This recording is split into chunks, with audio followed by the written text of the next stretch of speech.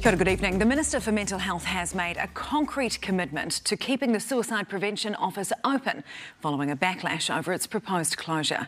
Both sides of the House fumbled the news. Matt Doocey was caught completely off guard, while Labor had to recall a tone-deaf statement about it. Doocey's office declined our interview request today, but Newshub political editor Jenna Lynch tracked him down for an explanation. Mental health is Jazz Thornton's purpose. She's seen the dark side herself, attempting suicide in her teens. She now spends her life fighting for change and sharing messages of hope to audiences the world over. Someone else's world is better because you exist.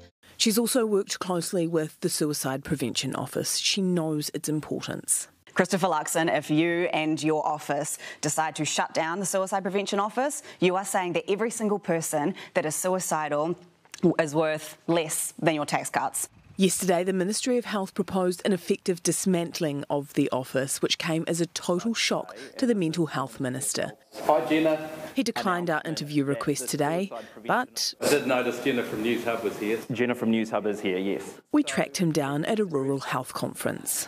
Uh, How did you find me? Everyone there wanted answers to is the Suicide Prevention Office going to be scrapped? I rung up Di Sarfati, the Director General of Health and made it very clear my expectation of that suicide prevention office remains open. And that's what I'm committed to doing. Let's be very clear the Suicide Prevention Office will remain open. The proposal obtained by Newshub shows the office currently has eight roles. The director and executive assistant roles are currently vacant and proposed to be disestablished. Two other full time roles are set to expire, while two more are also proposed to be disestablished, leaving just two, which are to be embedded within a wider team. Uh, well, that proposal um, was news to me. It's there in black and white.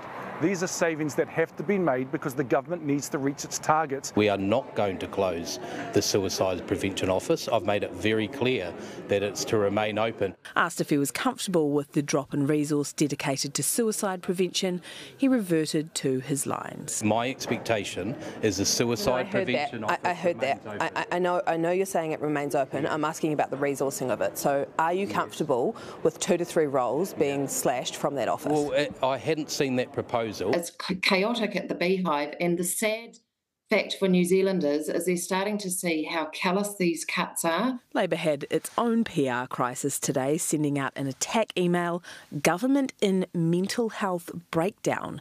Two minutes later, it recalled the email. Ingrid Leary didn't want to talk about it. So you're not willing to take any responsibility for getting that wrong?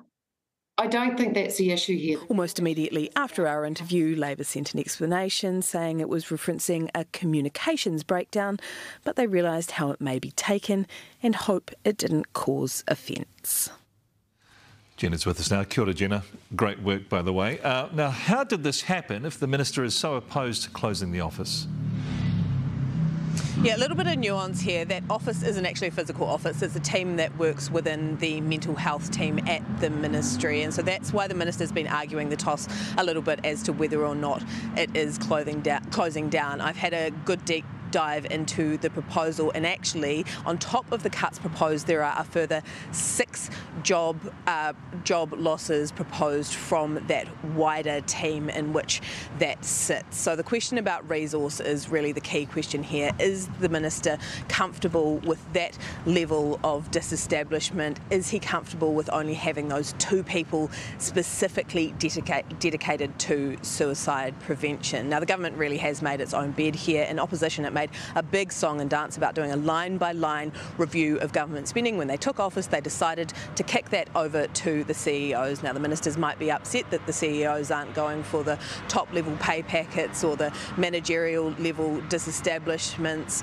but the government cannot complain if it is not willing to do the work itself. Jenna, tēnā koe.